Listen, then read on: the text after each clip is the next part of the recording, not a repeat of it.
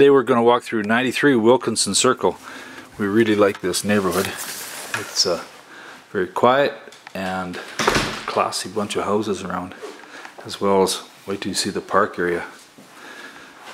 Solid flooring, good sized dining area. Let's give you an idea of the flow of the house and uh, the most interesting view back here. Round deck, classy. So that park area, green area, uh, is maintained by the town, but you get to use it and walk through it, enjoy it, and see it. Here's bedroom number two, the main floor area. And between the bedrooms is the four-piece bath with that nice light coming up above. And then there's the master bedroom double windows again overlooking the park.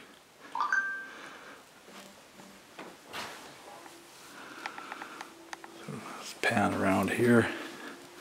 That's what it looks like out the front window. Uh, lots of room. The garage door is there as well. Good size entrance. Take a peek downstairs. Got barn doors over a storage area and there's a nice cozy fireplace with a spot for a TV above. This is a good sized room. Again, this is what it looks like outside. Got a concrete, again rounded concrete area for patio. Covered decks are used a lot. I think that's a Murphy bed on the wall. Now we've got uh, another bedroom that'd be bedroom number three downstairs. Real good size.